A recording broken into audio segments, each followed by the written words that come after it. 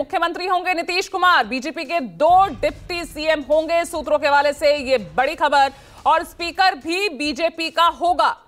यह बड़ी खबर इस वक्त आपको बता रहे हैं। तो मुख्यमंत्री नीतीश कुमार होंगे, और उनके साथ होंगे दो उप मुख्यमंत्री जो कि बीजेपी के होंगे।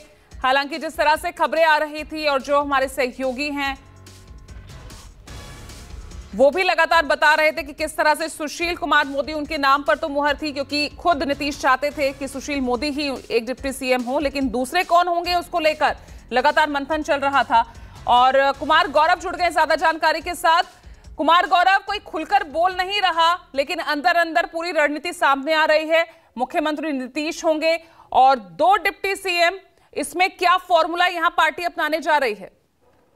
देखिए ज़ाहिर तौर पे एक जो लगातार चर्चाओं का बाज़ार गर्म था कि मुख्यमंत्री कौन बनेगा, क्योंकि इससे पहले बीजेपी के कई घरों से ये खबर आई थी कि मुख्यमंत्री के तौर पर वो नीतीश कुमार को इस बार अगर वो गठबंधन के साथ आते हैं तो स्वीकार नहीं करेंगे, चेहरा बीजेपी का होगा। तो ये बातें आलाकमान पार्टी आलाकमान ने सीधे तौर पर अपने राज्य यूनिट को बता दिया है कि मुख्यमंत्री वही रहेंगे और अभी ही नहीं, इस पूरे टर्म के लिए मुख्यमंत्री वही रहेंगे। और समय से पहले जो विधानसभा चुनाव की बात की, वो सभी बातें बेफजूल की हैं और सीधे तौर पर राज्य यूनिट को ये मैसेज केंद्रीय नेतृत्व की तरफ़ से दे दिया गया है। दो डिप्टी सीएम, जो पुराना फॉर्मूला है, वो रहेगा चेहरा कौन होगा, ये अभी तय होना पार्टी आलाकमान ने ज़रूर तय कर दिया है, लेकिन अभी इसकी जानकारी नहीं मिली है। लेकिन ये बात ज़रूर है कि मुख्यमंत्री के तौर पर राज्य को नीतीश कुमार लीड करते रहेंगे और एनडीए में अब जेडीयू का आना तय है, इसमें कहीं कोई कंफ्यूजन नहीं है। जो औपचारिक ऐलान की बात है, आज और कल की जो बैठक है बीजेपी की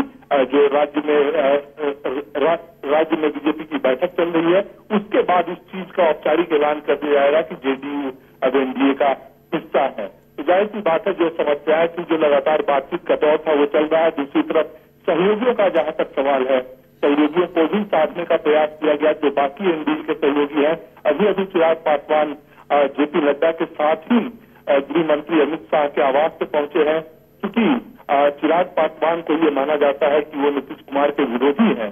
ऐसे में चिराग पासवान को भी साफ़ रखना है क्योंकि वो भी उनका भी एक अच्छा खासा वोट बैंक है। तो ज़ाहिर सी बात है कि अब मान मनोबल जो है जो भी अंतिम दौर की बातचीत है सहयोगियों के साथ वो अब बीजेपी आलाकमान कर रहा है और इसमें कहीं अब कोई कंफ्यूजन नहीं है कि नीतीश कुमार साथ आएँगे कि नहीं आएँगे। नीतीश कुमार साथ आएँगे नहीं, मुख्यमंत्री भी वो रहेंगे। और जो पुराना फॉर्मूला है कि बीजेपी के दो डिप्टी सीएम और तमाम जो मंत्रियों की जो संख्या होती थी, वो सभी चीज़ें यथावत रहेंगी। और अब आखिरी दौर की एक तरह से आप बातचीत कर सकते हैं और औपचारिक ऐलान बिहार में जो बैठक आज और कल की जो बैठक है बीजेपी की, उसके बाद हो जाएगा। और संभावना ये भी है जो शपथ ग्रहण समारोह कल या परसों, कल की भी संभावना है और परसों की भी संभावना है। जिस दिन भी हो, उसमें बीजेपी के राष्ट्रीय अध्यक्ष जेपी नड्डा और गृह मंत्री अमित शाह भी शिरकत कर सकते हैं। उस दौरान शपथ ग्रहण समारोह के दौरान वो मौजूद रह सकते हैं। जी।